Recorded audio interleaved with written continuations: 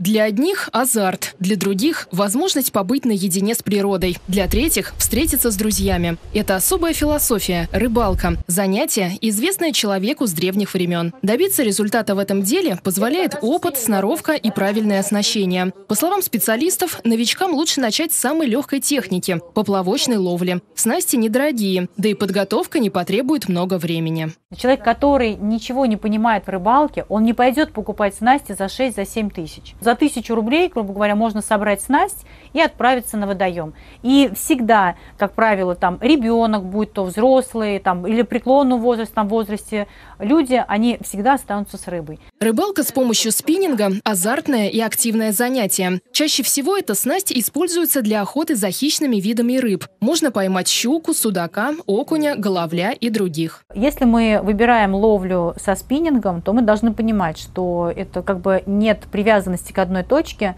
То есть мы каждый раз э, прощупываем дно, водоем и меняем локацию. То есть мы, допустим, покидали там несколько раз на одной точке, поклевок нет, э, никакой реакции нет от рыбы, мы перемещаемся.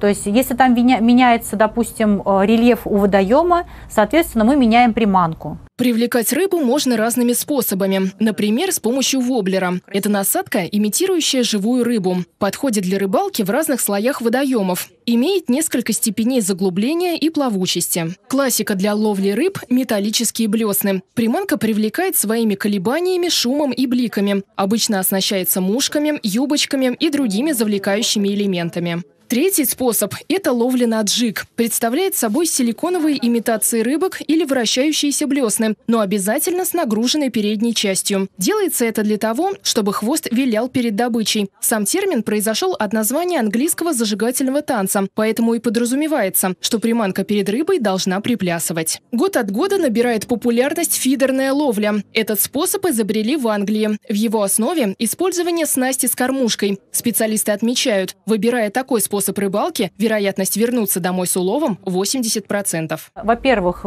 для этого используется прикорм, то есть вы уже заведомо прикормили да, рыбу, она, естественно, подходит, питается. У вас живая насадка, это червяк, опарыш, там кто-то на кукурузу ловит, смотря какую рыбу вы ловите.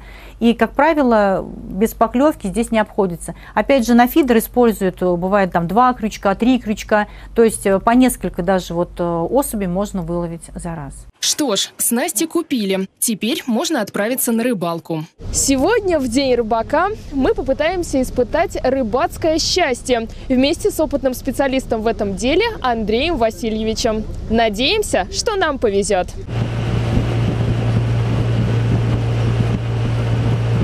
Андрей Антипов увлекается рыбалкой с детства. Для него количество пойманной рыбы не играет роли. Мужчина уверен, главное – получать удовольствие от процесса. А самая лучшая наживка для поплавочной удочки – это червь, мотыль и белый хлеб. Ну, старые рыбаки знают про этот способ. Прогладили утюгом. Сейчас появилось такое вот интересное изобретение – пучковяз. И резиночку одели. А по старинке все делается, нитками обматывается, как тортик. И чтобы держалось на крючке. По словам эксперта, в рыбалке только 40% успеха зависит от опыта, а остальное – от сопутствующих факторов. Оказывают влияние направление ветра и атмосферное давление, время суток и место ловли. Поэтому идеальными условиями для рыбалки будут раннее утро и спокойная погода. Время на рыбалке летит незаметно. Не прошло и 10 минут, а у нас уже есть первая поклевка. Сейчас посмотрим, что там. Важно вовремя подсечь рыбу и не давать слабину. Затем медленно вести, чтобы она не сорвалась с крючка. Вот он какой. Осторожней. Красавец!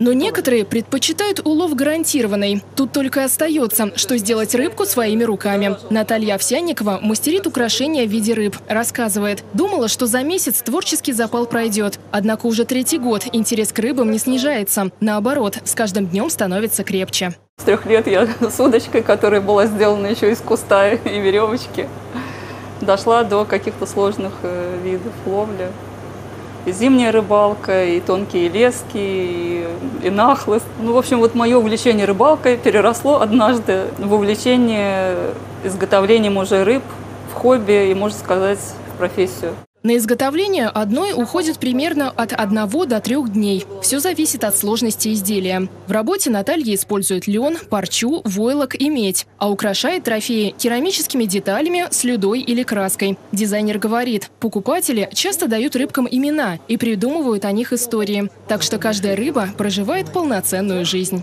Ксения Баканова, Константин Головин, Валерий Майоров. События.